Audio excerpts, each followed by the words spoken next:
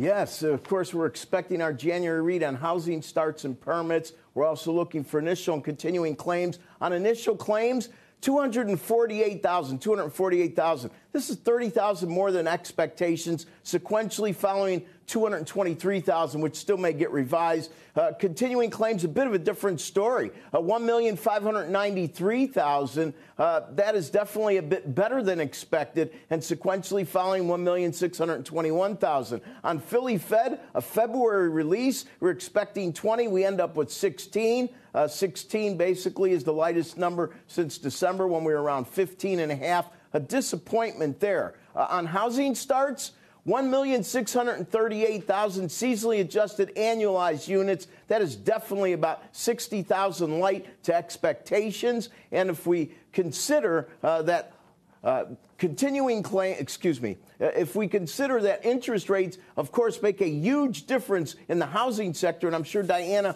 will speak to this and also give us the breakdown between single and multifamily. The issue is with supply being so tight, even the move in interest rates might not bite as hard as it once used to. Listen, gang, I do not see, I do not see building permits out yet. I do not see building permits out yet. So I'll kick it back to you. Maybe Diana has that, uh, and, and we could pick that up from her.